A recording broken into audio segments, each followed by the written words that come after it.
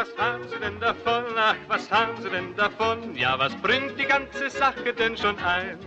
Ach, mein Freund Friedrich, der hat Glück bei Frauen. Sie sind verliebt in ihn, jemand's gedacht.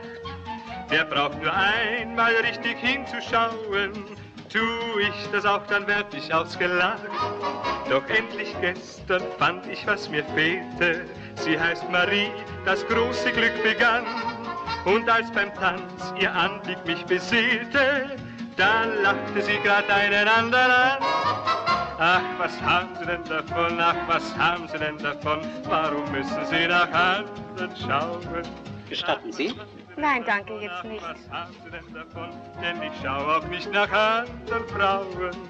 Ach, was bringt denn das schon ein? Bitte lassen Sie es doch sein. Und Sie kriegen dafür einen Kuss.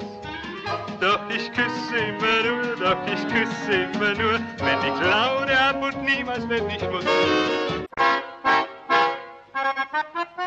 Josephine sitzt an der Schreibmaschine im Chefbüro von Herrn Direktor Klein.